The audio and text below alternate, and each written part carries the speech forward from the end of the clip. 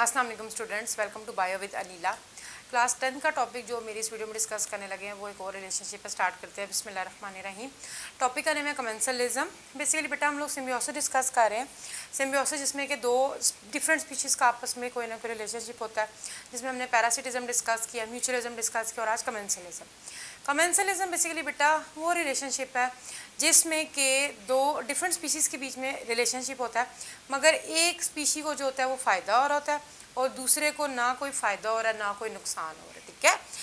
इस, ऐसा रिलेशनशिप जिसमें कि एक पार्टनर को तो बेनिफिट हो रहा है, मगर दूसरे को ना बेनिफिट हो रहा है, ना हार्म हो रहा है तो ये है हमारे पास कमेंसलिज्म इसमें कॉमन एग्जांपल आ जाती है एपीफाइट्स की तो एग्ज़ाम हमारे पास एग्जांपल इसकी क्या है? एपीफाइट्स एपीफाइट किस वर्ड से निकला? एपी का मतलब होता है जी अपर और फाइट्स का मतलब होता है प्लांट ऐसे पौधे जो कि दूसरे पौधों के ऊपर रहते हैं, ठीक है?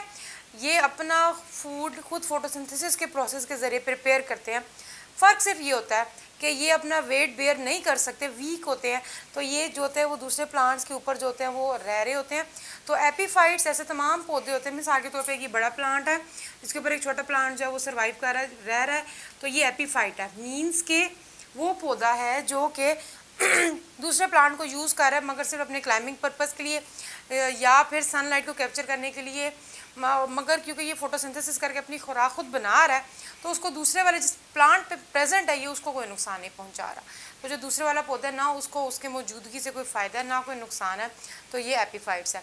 एपीफाइट्स उन तमाम पौधों को कहा जाता है जो कि दूसरे प्लांट्स के ऊपर रहते हैं, मगर उनको बेनिफिट हो रहा है, मगर दूसरों को ना फ़ायदा हो रहा है ना नुकसान हो रहा है। एक और एग्जांपल एनिमल्स में आ जाती है सकर फ़िश सकर फ़िश छोटी छोटी सी फ़िश होती हैं, आपकी बुक में डायग्राम मेंशन है, जो कि अपने आप को शार्क के साथ अटैच कर लेती हैं।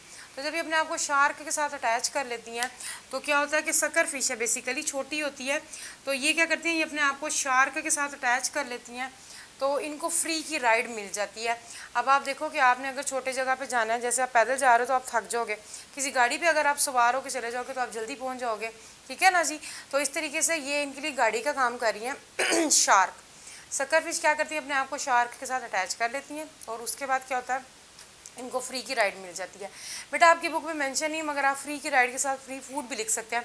क्योंकि आपको पता है कि जब शार्क जो होती है, वो जब एनिमल वगैरह का हंट करती है तो जब वो खाती है अपने माउथ के ज़रिए मीट वगैरह को तो क्या होता है कि जो डिफरेंट मीट के जो छोटे छोटे से जर्रे होते हैं, वो पानी की लहरों के साथ बॉडी से पीछे आते हैं। तो इन सकर फ़िश को फ्री में जो होता है, वो फ़ूड भी अवेलेबल हो जाता है। तो सकर फ़िश को बेसिकली ना सिर्फ़ एक तो फ्री राइड मिल रही है, आप साथ मेंशन भी कर सकते हैं कि इनको फ्री की फ़ूड भी मिल रही होती है। ठीक है जी? तो कमेंसलिज्म वो प्रोसेस है या वो रिलेशनशिप है, दो डिफरेंट स्पीचीज़ के बीच में। जिसमें कि एक को फ़ायदा हो रहा है, मगर दूसरे को ना हार्म हो रहा है ना को बेनिफिट हो रहा है। जिसमें एग्ज़ाम्पल कॉमन एग्ज़ाम्पल एपीफाइड्स की आ जाती है और उसके बाद आ जाती है जी सकर फ़िश की। यही हमारा आज का टॉपिक था, ख़त्म हो गया। ये सारे सारे रिलेशनशिप और नेक्स्ट हम फर्दर जो चैप्टर के और टॉपिक्स है वो डिस्कस करेंगे। आई होप कि आप लोगों को आज की वीडियो समझ आ गई होगी। नेक्स्ट वीडियो तक के लिए अल्लाह हाफिज़। दुआ में याद रखिएगा।